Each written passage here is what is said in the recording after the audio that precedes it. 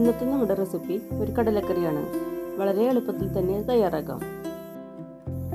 ഇതിനായി മൂന്ന് കപ്പ് കടല എടുത്തിട്ടുണ്ട്. നമ്മൾ ആറ് മണിക്കൂർ മുമ്പ് കുതിർത്ത് വെച്ചതാണ്. നമ്മൾ കുതിർത്തതിന് ശേഷമുള്ള അളവാണ് മൂന്ന് കപ്പ്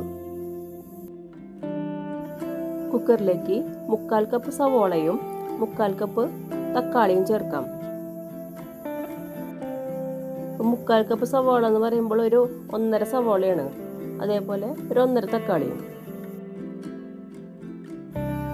മൂന്ന് പച്ചമുളക് കട്ട് ചെയ്ത് ചേർക്കാം.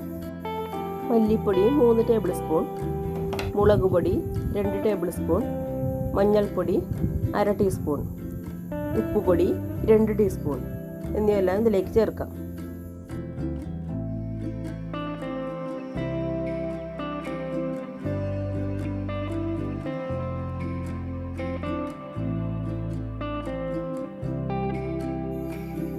മൂന്ന് കപ്പ് വെള്ളവും ചേർക്കാം. എന്നിട്ട് മിക്സ് ചെയ്തതിന് ശേഷം ഗ്യാസിൽ വെക്കാം.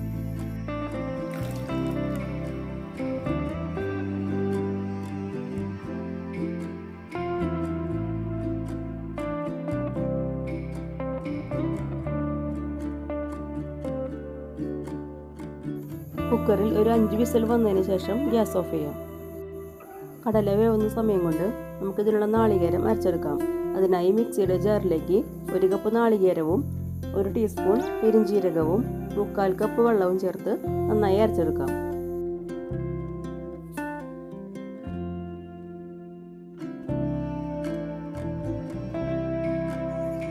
ഇപ്പോൾ നാളികേരം അരച്ചു കഴിഞ്ഞിട്ടുണ്ട്. ഇനി ഇത് കടലയിലേക്ക് ചേർക്കാം. ഇപ്പോൾ കുക്കറിൽ അഞ്ച് വിസിലൊക്കെ വന്നു കഴിഞ്ഞിട്ടുണ്ട്. ഈ കുക്കർ ഒന്ന് തുറന്നു നോക്കാം. ഇപ്പോൾ നമ്മൾ ഗ്യാസ് ഓൺ ചെയ്തിട്ടുണ്ട്. ഇനി നമുക്ക് നാളികേരം അരച്ചത് ഇതിലേക്ക് ചേർക്കാം.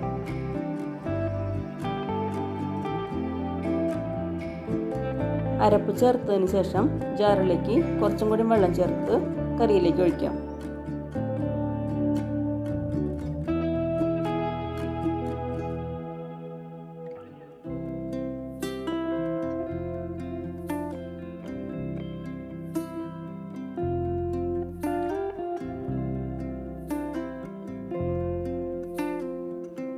ഇപ്പോൾ കറിയൊക്കെ നന്നായി തിളച്ചു വന്നിട്ടുണ്ട്. കറി ഒന്ന് മാറ്റി വെച്ചിട്ട് അതേ അടുപ്പിൽ തന്നെ താളിക്കാനുള്ള പാൻ വെക്കാം.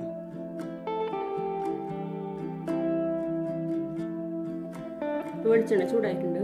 അതിലേക്ക് ചെറിയ ഉള്ളി കട്ട് ചെയ്ത് ചേർക്കാം.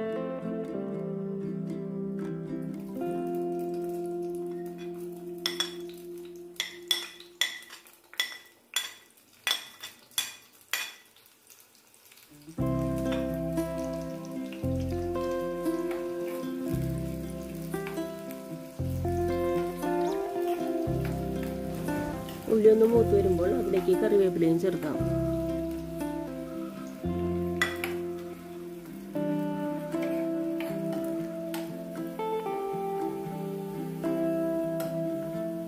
നല്ലോണം മൂത്ത് വന്നിട്ടുണ്ട്. അത് ഗ്യാസ് സിമ്മിൽ വെക്കാം. ഇതിലേക്ക് ഒരു ടീസ്പൂൺ മസാലപ്പൊടി ചേർക്കാം. ഗരം മസാല.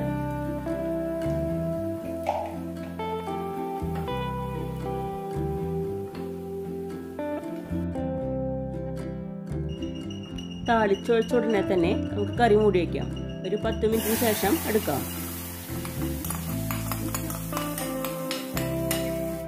ഇപ്പോൾ നമ്മുടെ കറി റെഡി ആയിട്ടുണ്ട്. നമുക്കിത് പുട്ടിന്റെയും അപ്പത്തിന്റെയും കൂടെയൊക്കെ കഴിക്കാം.